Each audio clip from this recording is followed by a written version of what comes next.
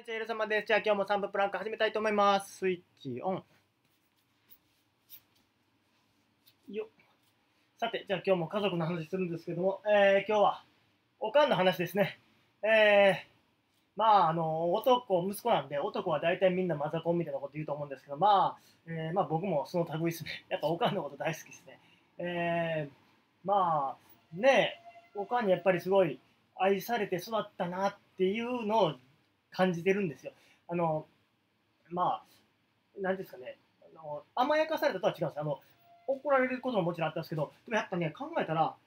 あんまり怒られたことないかもしれないです。甘やかされたとは別でね、あの、友達と遊んで友達に怪我させた時も別に怒られなかったですね。え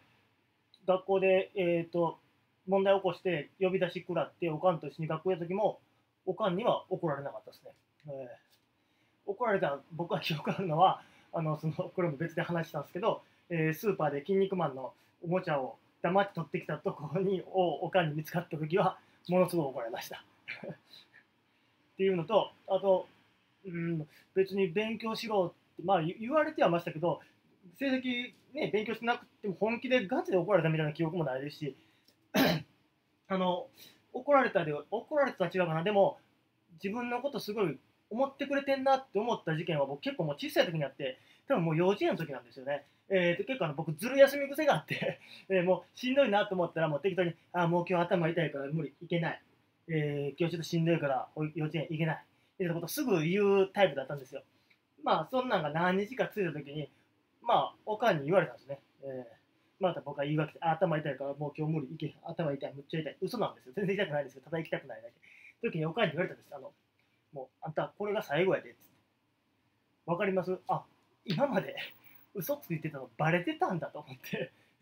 なんですかね、怒られてわけじゃないです。もうその一言だけなんです。これが最後やでっていう。なんていうんですかね、あ、バレてたんだっていう、この、えー、まあ、恥ずかしさと、えー、あと何ですかね、あ、おかんはやっぱりこんだけ自分のことを分かってくれてんだって逆に思ったんですよね。えー、やっぱこんなしょうもない嘘ついたら、おかんには分かんだなっていう、なんか、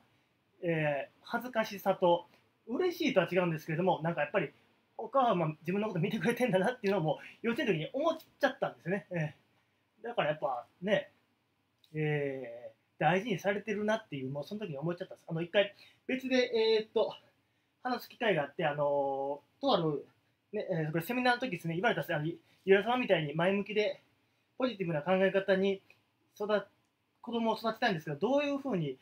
育てられてきましたか？みたいなことを聞かれたんです。あの、本当簡単ですね。あの、